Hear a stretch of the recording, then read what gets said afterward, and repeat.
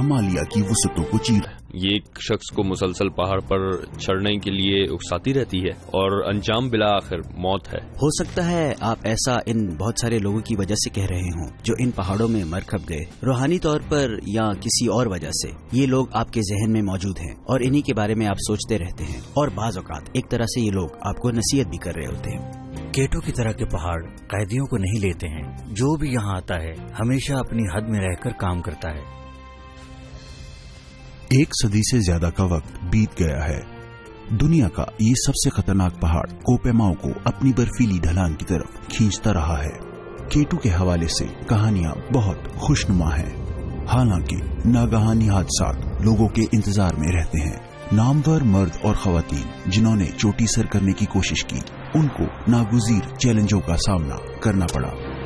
یہ خواہش اور طاقت سے کہیں زیادہ اعتماد کا سخت ترین امتحان ہوتا ہے۔ یقین رکھنا ہوتا ہے، خود پر بھی اور ایک دوسرے پر بھی۔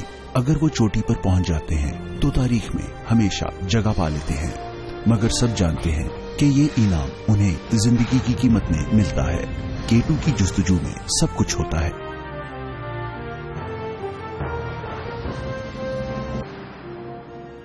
دنیا کے جتنے بھی بلند پہاڑ ہیں، ان میں ایک خاص فاصلے سے کیٹو بالکل ایسا نظر آتا ہے جیسے کسی بچے نے ڈرائنگ بنائی ہو۔ یہ کلاسک احرام کی طرح ہے۔ آپ جس قدر قریب جائیں گے، یہ اس قدر پیچیدہ اور ٹوٹا پھوٹا نظر آتا ہے۔ یہ اصل میں چونے کا پتھر ہے، بہت ہی ٹوٹا پھوٹا اور زبردست ڈھلوان والا۔ اسی لیے اس پر چڑھائی آپ کی سوچ سے کہیں زیادہ خطرناک اور قدرے پیچیدہ ہے۔ اگر آپ ایک سنجیدہ اور سمجھدار کو پیما ہے تو کیٹو میں آپ کو پراسرار خصوصیات نظر آئیں گی۔ میں سمجھتا ہوں کہ جن کی توجہ حاصل کر لیتا ہے اور وہ اس کے پاس جانے اور اس پر چڑھنے کے حوالے سے خود کو بے بس پاتے ہیں۔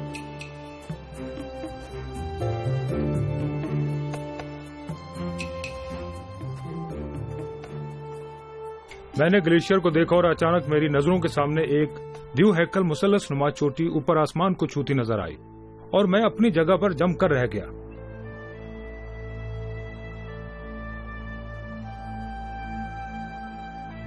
اوپر دیکھنے کے بعد مجھے امید نہیں تھی کہ ہم لوگ اوپر پہنچ سکیں گے مگر میں نے یہ بات اپنے ساتھیوں میں سے کسی کو بھی نہیں بتائی۔ آپ کو پتا ہے کیوں؟ کیونکہ جب ہم لوگ چاروں طرف نظریں دوڑا رہے تھے تب میں نے ان کے چہرے دیکھے اور جان گیا کہ یہ سب بھی میری طرح سے ہی سوچ رہے ہیں۔ یاد رہے کہ یہ انیس سو اٹھہتر کا سال تھا۔ ان سالوں میں کیٹو کسی بھی راستے سے کسی نے بھی صرف دو بار چڑھنے کی کوشش کی تھی۔ اس پر آکسیجن کے بغیر کبھی چڑھا نہیں گیا۔ کسی بھی امریکی ٹیم نے اسے کبھی بھی کامیابی سے سر نہیں کیا۔ حالانکہ انیس سو اڑتیس میں پانچ بار ایسی کوششیں کی گئی تھیں۔ کیٹو پر چڑھنے والے ابتدائی کو پیما اولین ہیروز نے ہمیشہ ہمالیہ کے لیے ایک حصے کو دریافت کیا، جسے کرکرم کہا جاتا ہے۔ یہ وسیع ہے اور بہت مشکل سے یہاں پہنچا جا سکتا ہے۔ یہ مہم جوؤں کے لیے اپنے اندر بہت کشش رکھتا ہے۔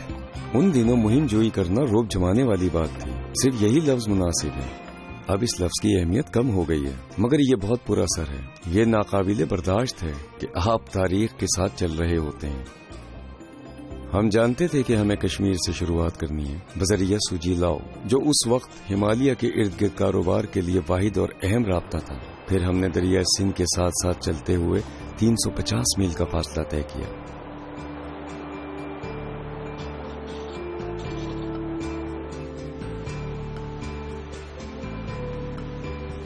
دو ہزار سال تک حملہ آور فوجیں اور طرح طرح کے مسافر اس راستے سے گزرتے رہے تھے۔ بلا شبہ یہ ایک حیران کن اور پرجوش سفر تھا۔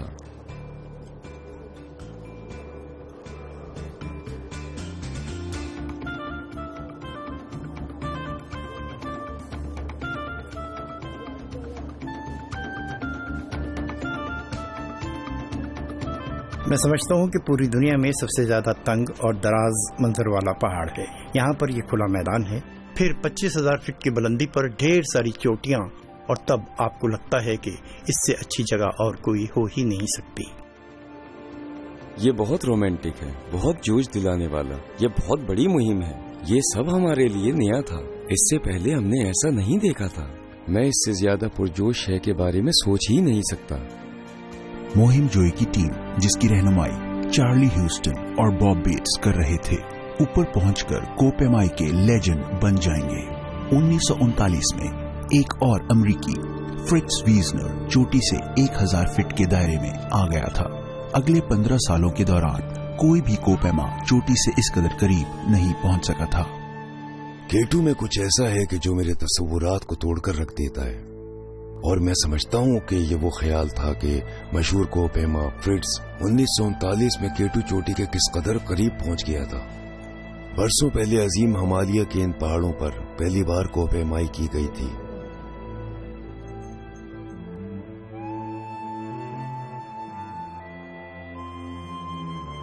جہاں تک میرے اور لو ریچرڈ کے چوٹی پر چڑھنے کا تعلق ہے، تو غالباً ہم چوٹی سے چار سو یا پانچ سو فٹ کے فاصلے پر تھے۔ ایسا لگ رہا تھا کہ اگلا قدم چوٹی پر ہوگا۔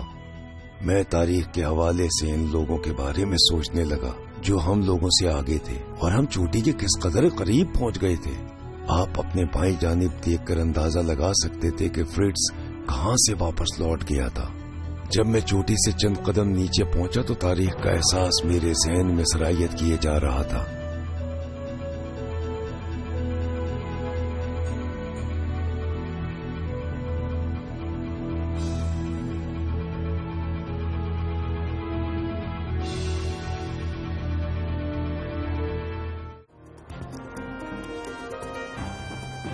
انیس سو چون میں ایک برطانوی کوپیما جب ہمالیہ کو سر کرنے میں کامیاب ہو گیا، تو ایک اٹیلین ٹیم کے ٹو آئی، ان کا پلان تھا کہ اب جسے کلاسک مہم جوئی کا سٹائل کہا جا رہا ہے، اسی کو بروئے کار لاتے ہوئے کے ٹو کو فتح کرنا ہے۔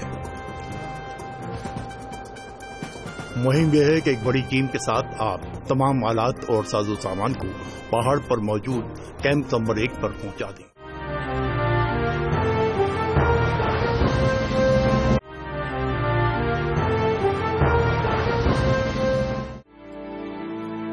انیس سو ترپن میں چارلی ہیوسٹن کو پیماؤں کے ایک چھوٹے گروپ کے ساتھ واپس کیٹو آ گیا تھا۔ مگر ٹیم کے ایک ساتھی کی موت نے انہیں واپس لوٹنے پر مجبور کر دیا۔ کیٹو کی جو تاریخ ہے اس نے کو پیماؤں کو مکمل موقع دیا ہے کہ وہ خود کو اور تجربہ کار بنا لیں، جیسا کہ ہم جانتے ہیں۔ اگر انیس سو ترپن میں چارلی ہوسٹن اور باب بیٹس اور ان کے ساتھی مہم جو کیٹو پر پہنچنے میں کامیاب ہو جاتے یا پھر ایک چھوٹی ٹیم اور آکسیجن کے بغیر کیٹو پر چڑھ جاتے، تو پھر یہ تمام مہم جوؤں کے لیے ایک چیلنج ہوتا کہ وہ بھی آٹھ ہزار میٹر پر آکسیجن کے بغیر انہی کے انداز میں فتح حاصل کریں۔ کیونکہ اسی سال مہم جو فوجی ساز و سامان، آکسیجن کا استعمال اور بہت بہت سارے شرپاس کے ساتھ ہمالیہ پر چڑھ گئے تھے اور ان کا یہ عمل ایک معیار بن گیا تھا۔ انیس سو چون میں ایک برطانوی کوپیما جب ہمالیہ کو سر کرنے میں کامیاب ہو گیا، تو ایک اٹالین ٹیم کے ٹو آئی، ان کا پلان تھا کہ اب جسے کلاسک مہم جوئی کا سٹائل کہا جا رہا ہے، اسی کو بروئے کار لاتے ہوئے کے ٹو کو فتح کرنا ہے۔ مہم یہ ہے کہ ایک بڑی ٹیم کے ساتھ آپ تمام آلات اور ساز و سامان کو پہاڑ پر موجود کیمپ نمبر ایک پر پہنچا دیں اور واپس نیچے جائیں اور پھر مزید سپلائی کیمپ نمبر ایک میں لے کر آئیں اور اسے اب کیمپ نمبر دو اور پھر تب تک یہ عمل جاری رہتا ہے جب تک کیمپ نمبر چھ نہیں آ جاتا۔ عموماً کے ٹو پہنچنے کے لیے چھ کیمپ لگانے پڑتے ہیں اور ظاہر ہے کہ یہ بہت ہی محنت طلب کام ہے۔ مگر اس حکمت عملی نے اٹیلین ٹیم کو اس وقت ہیرو بنا دیا، جب اکیلے کیمپنگ ڈونی اور لینو لیچیڈیلی تاریخ میں کے ٹو پر پہنچنے والے پہلے انسان بن گئے۔ اس کامیابی کے ساتھ ہی مستقبل کے کوپیماؤں کو ایک چیلنج بھی سامنے آ گیا کہ اب وہ بھی چھوٹی ٹیم اور کم سپورٹ کے ساتھ چوٹی کو سر کریں۔ ایک دوسرا طریقہ یہ ہے کہ الپائن والا اسٹائل اپنایا جائے، جس میں ابتدا میں سب کچھ سیٹ کر لیا جاتا ہے۔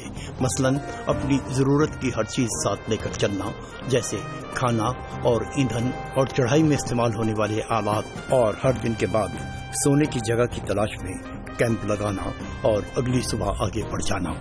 اس امید کے ساتھ کہ اس طرح چوٹی پر پہنچ جائیں گے۔ انیس سو نوے میں جب ہم کیٹو پر گئے تو لوگوں کا ایک چھوٹا سا گروپ ساتھ تھا۔ بس گنتی کے چار کو پیما تھے۔ ایک طرح سے جب آپ چھوٹے گروپ کے ساتھ جاتے ہیں تو اس بات کے زیادہ امکانات ہوتے ہیں کہ آپ پہاڑ کی چوٹی پر پہنچ جائیں، کیونکہ ایک گروپ کی شکل میں آپ ایک دوسرے سے مضبوطی سے جڑے ہوتے ہیں۔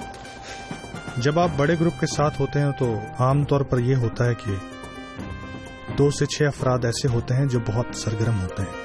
تو ایسے میں ضروری ہے کہ آپ ان لوگوں کو چنیں جن کو آپ واقعی ساتھ رکھنا چاہتے ہیں اور جن پر آپ بھروسہ کرتے ہیں اور جن کے بارے میں آپ سمجھتے ہیں کہ ان پر اعتماد کیا جا سکتا ہے اور موج مستی بھی۔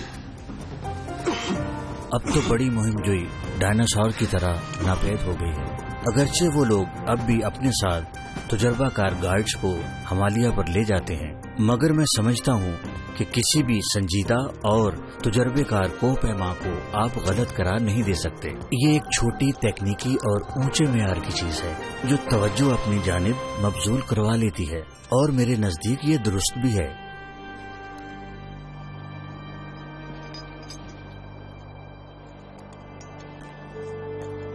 کیٹو پر مرنے والوں کی تعداد خوفناک حد تک بڑھ گئی۔ ہر تین کو پیما جو چوٹی پر پہنچ جاتے ہیں، ان میں سے ایک واپس اترتے وقت موت کے منہ میں چلا جاتا ہے۔ جو پکے کو پیما ہے ان کے لیے کیٹو پہاڑ میں بہت کشش ہے۔ یہ محض کیٹو کو سر کرنے کے لیے اپنے آپ کو جوکھوں میں ڈالتے ہیں۔ آپ کو پتا ہے کہ اس پر چڑھنا اپنی ذات کو انعام دینا ہے۔ تو میں سمجھتا ہوں کہ بعض اوقات لوگ حتیٰ کے پیشہ ور کو پیما بھی رسک لینے پر تیار ہو جاتے ہیں۔ اور محض کیٹو کی چوٹی پر کھڑے ہونے کی خواہش میں۔ یہ خواہش ہمالیہ پر کھڑے ہونے کے مترادف ہے۔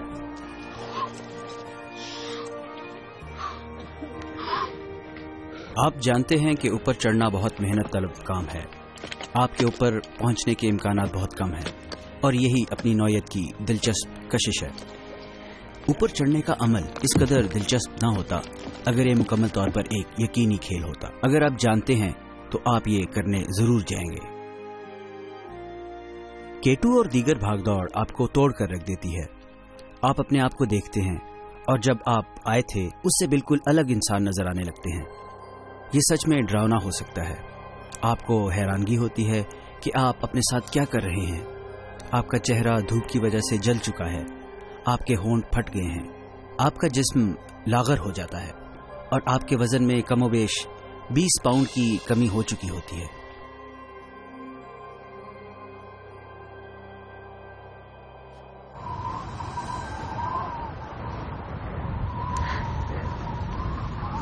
جب میں اوپر چڑھ رہی تھی تو کئی بار مجھے محسوس ہوا کہ میں مراقبے کی حالت میں ہوں۔ اس طرح میں درد سے محفوظ تھی۔ اس سے فرق بھی نہیں پڑتا۔ میرا جسم ایک مکینکل چیز ہے اور مجھ سے جو بھی کہا جاتا ہے وہ میں ذہنی طور پر کرتی ہوں۔ جب آپ اوپر چڑھتے ہیں تو آپ کے جسم میں توانائی کا ٹینک فل ہونا چاہیے تاکہ چڑھتے اور اترتے وقت آپ اس کا صحیح استعمال کر سکیں۔ آپ جانتے ہیں کہ جیسے جیسے اوپر جائیں گے، اس میں کمی آتی جائے گی۔ یہ آپ کے بینک اکاؤنٹ کی طرح ہے۔ آپ کے اکاؤنٹ میں بہت سارے پیسے ہیں، مگر جب آپ اوپر چڑھتے جائیں گے تو ان پیسوں میں کمی آتی جائے گی۔ جو لوگ مہم پر روزانہ ہوتے ہیں، ان کے ساتھ ایک مسئلہ یہ ہوتا ہے کہ جب وہ اوپر پہنچ جاتے ہیں تو آخری پونجی بھی ختم ہو جاتی ہے۔ اور نیچے اترتے وقت ان کے پاس پیسے نہیں ہوتے۔ ایسے میں یہ وقت کے خلاف ریس لگانے والی بات ہے۔ اس خطۂ زمین پر جب آپ کے جسم کے خلاف ریس والی بات ہے، اور ہر اس چیز کے خلاف ریس ہے جو آپ کے نیچے اترنے کے عمل کو یقینی بناتی ہے۔ آپ اپنے اکاؤنٹ کا آخری پیسہ بھی نکال لیں۔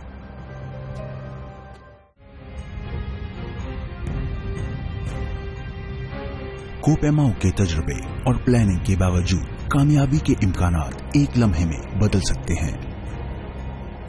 کیٹو پر اٹھنے والے طوفان اور غیر یقینی موسم اصل دشمن ہیں۔ آپ ہر مہم پر جانے سے قبل یہی سمجھتے ہیں کہ موسم بہت اچھا ہوگا اور وہاں مخالف موسم ہونے کے باوجود آپ ثابت قدم رہیں گے۔ بہت سے لوگ اس خوش فہمی میں مبتلا ہوتے ہیں کہ پہاڑوں پر موسم عموماً اچھا ہوتا ہے اور ایسا سوچنے کی وجہ پہاڑوں کا برف سے ڈکا ہوا ہونا ہوتی ہے، مگر اصل میں موسم اچھا نہیں ہوتا اور کیٹو پر تو بالکل بھی نہیں۔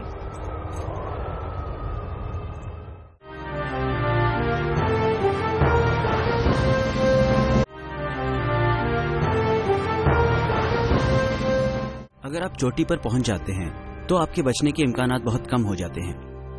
اگر آپ تفصیلات میں گئے تو آپ بہت ہی جلد ہمت ہار بیٹھیں گے۔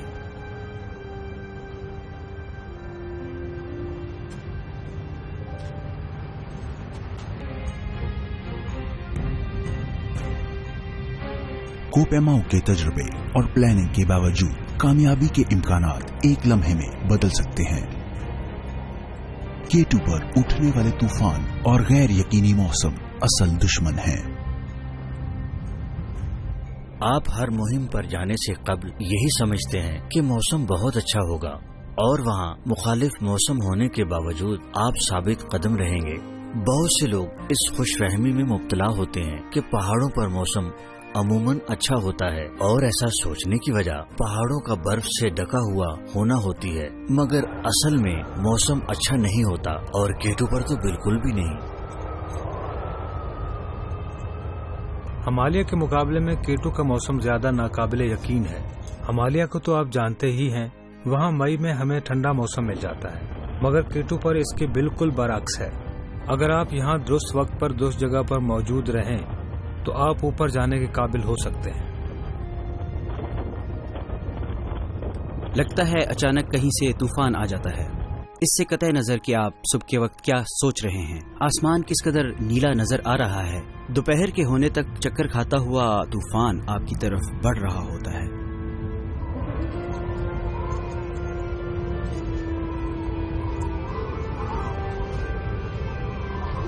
طوفان بہت ہی خراب ہوتے ہیں۔ پانچ سے چھ روز تک رہتے ہیں اور اس دوران آپ پہاڑ سے باحفاظت نیچے اترنے کی جد و جہد کرنے لگتے ہیں۔ جب موسم صاف ہو جاتا ہے تو آپ کو ایک بار پھر اوپر جانے کے لیے محنت کرنا پڑتی ہے۔ طوفان کی علامت بالکل واضح ہوتی ہے۔ مثلا بل کھاتے ہوئے بادلوں کے چھوٹے چھوٹے ٹکڑے جو دھوئیں کی طرح نظر آتے ہیں۔ آپ اسے دیکھتے ہیں اور یہ اس بات کی ضمانت ہوتے ہیں کہ موسم بدلنے والا ہے۔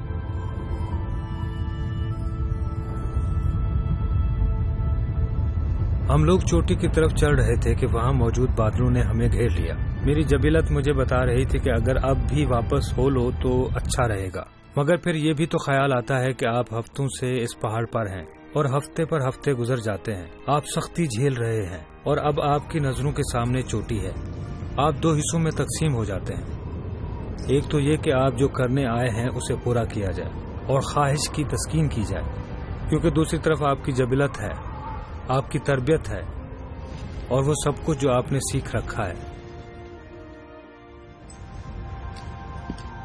چڑھائی کے حوالے سے کہنا ہے کہ بس لوٹ چلو۔ میں پورا وقت یہی سوچتا رہا کہ شاید اوپر چڑھنے کے عمل کو جاری رکھنے کا میرا فیصلہ غلط تھا اور میں صحیح معنوں میں درست فیصلہ نہیں کر سکا۔ میں ذہن جھٹکتا رہا جھٹکتا رہا اس آئیڈیا کو کہ واپس لوٹ جانا ہے۔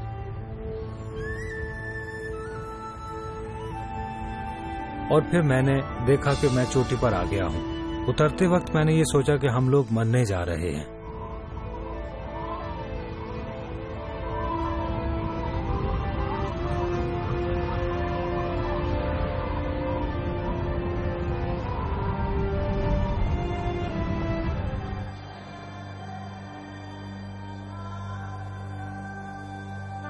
اس وحشی پہاڑ پر موت ایک مستقل ساتھی کی طرح ساتھ رہتی ہے۔ انتہائی معمولی غلطی کی بھی گنجائش نہیں ہوتی۔ کو پیما اپنی قسمت اور اپنے اندر کی آواز پر انحصار کرتے ہیں، مگر اکثر یہ دونوں چیزیں ان کو سپورٹ نہیں کرتی۔ میں یہ کہوں گی کہ پہاڑ پر چڑھنا اور ہر بار یہ سمجھ لینا، سو فیصد جان لینا کہ گھر لوٹنا فضول ہے۔ میرا مطلب یہ ہے کہ یہ تو ایک طرح سے سراسر انکار ہے۔ انیس سو اٹھتر میں ایک برطانوی موہن جو نے مغرب کی جانب سے کیٹو پر چڑھنے کی کوشش کی تھی۔ مشہور کوپیما ڈگ اسکاٹ بھی اس ٹیم میں شامل تھے اور ساتھ میں اس کا دوست نک ایسٹ کوٹ۔ بارہ جون کسی وارننگ کے بغیر حادثہ ہو گیا۔ مجھے شور سنائی دیا اور میں نے برف میں کپ کپاہٹ محسوس کی۔ میں جم کر رہ گیا اس کے بعد میں خود کو واپس کھینچ رہا تھا، کیونکہ میرے پیچھے مکمل ڈھلان تھا۔ اس کے درمیان نک تھا۔ ہم نیچے جانے لگے، بلکہ چوٹی سے پھسلنے لگے۔ شاید دو سے تین ہزار فٹ نیچے، اور پھر کنارے سے برف ٹوٹنے لگی اور میرے پاؤں اکھڑ گئے۔ میں سر کے بل نیچے گرنے لگا۔ حیرت انگیز بات یہ ہوئی کہ مجھے بالکل ڈر نہیں لگا۔ جی ہاں مجھے اچھی طرح یاد ہے۔ کوئی ڈر نہیں لگ رہا تھا۔ ڈر وہاں ہوتا ہے جہاں آپ کو پتا ہوتا ہے کہ آپ کچھ خطرناک کرنے جا رہے ہیں۔ جب یہ سب کچھ ہو رہا تھا تو بالکل بھی ڈر نہیں لگا۔ یہ اس طرح تھا کہ جیسے کوئی برفانی تودا پہلی بار گر رہا ہو اور تب میرے ذہن میں خیال آیا، میں یہاں مر سکتا ہوں۔ اچانک مجھے لگا کہ میرا گرنا رک گیا ہے۔ میرے پاؤں برف پر پڑے اور اس کے ساتھ باریک رسی ٹوٹ گئی اور میں کنارے پر کھڑا ہو کر چیخ چیخ کر نک کا نام پکار رہا تھا، مگر وہ تو نیچے گر چکا تھا۔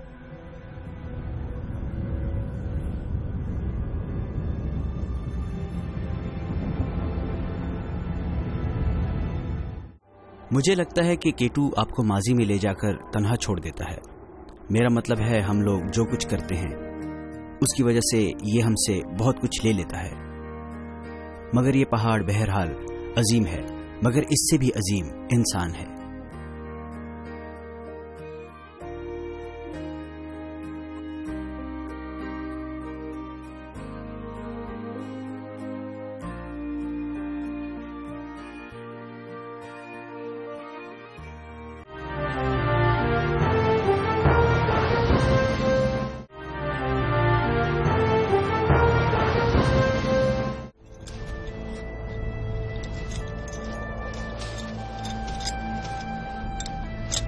جبلت یا آگاہی کو پیمائی میں کنجی کی حیثیت رکھتے ہیں۔ اگر آپ کے پاس یہ نہیں ہے، تو آپ کو یہ خطرناک بات ہونے سے پہلے مشکل اور طویل چڑھائی پر چڑھنے کے قابل نہیں ہو سکیں گے۔ میں سمجھتا ہوں کہ آگاہی تجربے کا نچوڑ ہوتا ہے۔ اگر آپ کی خواہش شدید ہے اور آپ اس کے زیر اثر ہیں، تو اپنی چھٹی حص کو بیدار نہیں کر سکیں گے۔ آگہی یا اس طرح کی کوئی اور شے آپ پر سوار ہو جائے گی، تب آپ نہ کسی کی سنیں گے اور نہ توجہ دے سکیں گے۔ ہمالیہ پر چڑھائی کے حوالے سے تضاد پایا جاتا ہے کہ آٹھ ہزار میٹر کی بلندی پر جانے کے لیے آپ کے پاس یہ آئیڈیا ہونا چاہیے کہ آپ اونچائی پر پہنچ کر رہیں گے۔ مگر آٹھ ہزار میٹر کی بلندی پر خود کو زندہ رکھنا بہت ہی احتیاط کا متقاضی ہے۔ ہمیشہ خطرہ رہتا ہے اور عہد کبھی پورا نہیں ہو پاتا۔ آپ ہمیشہ کنارے کے بہت قریب ہوتے ہیں۔ ایسے لوگ ہیں جو موقع کی تلاش میں رہتے ہیں، چاہے وہ کھیل ہو یا پھر کو پہمائی یا پھر کچھ اور۔ مگر ٹاپ پر پہنچنے کے لیے کرو یا مرو والی بات نہیں ہونی چاہیے۔ آپ جانتے ہیں کہ یہ سارا عمل سفر اور تجربے کا ہے۔ اگر کام اچھی طرح کرتے ہیں تو آپ چوٹی پر پہنچ جائیں گے۔ لیکن اگر آپ نے کام بہت ہی اچھی طرح کیا تو آپ واپس نیچے آ جائیں گے۔ اور یہی سب اہم ہدف ہونا چاہیے۔ یہ دھوکے والی موت نہیں ہے اور نہ ہی اونچائی پر جانے کا قصور ہے۔ یہ بلندی تو عارضی ہوتی ہے۔ یہ آگاہی کی طرح چلی بھی جاتی ہے۔ مگر بات وہی ہے کہ آپ کو وہاں یہی کرنا ہے۔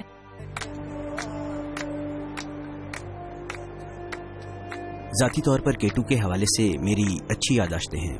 اس نے میرے ساتھ اچھا سلوک کیا۔ اس نے آسانی سے ہک لگانے دیا۔ مگر کیٹو تک پہنچنے میں مجھے اپنے دو ساتھی کھونے پڑے۔ اور اگر یہ منفی یاد ہے تو پھر یہی صحیح۔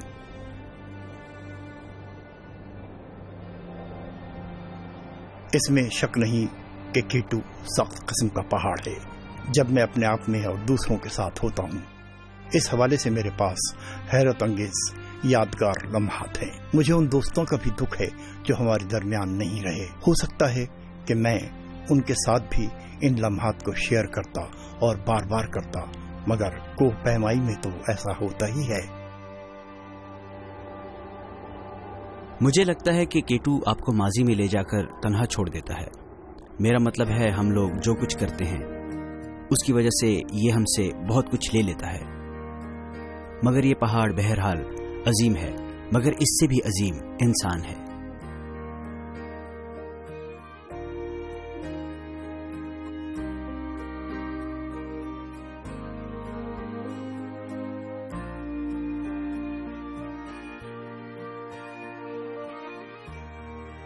میں سچ میں خود کو خوش قسمت سمجھتا ہوں، کیونکہ مجھے بہت ہی اچھے لوگوں کا ساتھ ملا، جو بعد میں میرے گہرے دوست بن گئے۔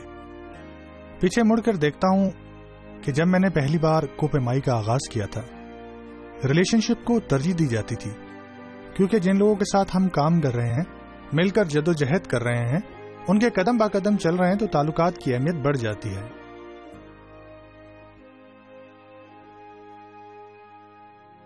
ایک طرح اس پر زور دیا جاتا ہے کہ چڑھائی کے دوران اسے اہمیت دیں۔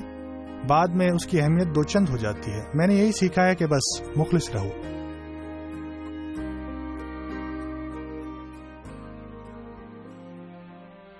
آپ کو پتا ہے کہ یہ چڑھائی دلچسپ ہوتی ہے۔ اس کی وجہ سے آپ لوگوں سے قریب ہو جاتے ہیں۔ آپ ان کو ہر پہلو سے دیکھتے اور جانچتے ہیں۔ میرے دوسرے کوہ پیماؤں سے تعلقات اسی وجہ سے اچھے رہے اور ہیں، چاہے وہ مرد ہو یا عورت، سب کا منظور نظر رہا اور میں نے ان کی روح تک پہنچنے کی کوشش کی۔ کیٹو کوپیماؤ کا پہاڑ کہا جاتا ہے۔ دہشت ناک پہاڑ، خوابوں کا پہاڑ۔ اس کا تاثر بھی اتنا ہی عجیب و غریب ہے جتنے کہ یہ کوپیما خود ہیں۔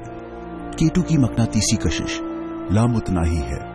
اسی طرح اس کے تبدیل ہونے کی طاقت ہے، جس کے ذریعے یہ انسان کی روح کے کونے کونے میں پہنچ جاتا ہے اور انسانی جوش اور جذبے کو بہت زیادہ بلندی پر پہنچا دیتا ہے کیٹو ہمیشہ یہ سب برداشت کرتا رہے گا۔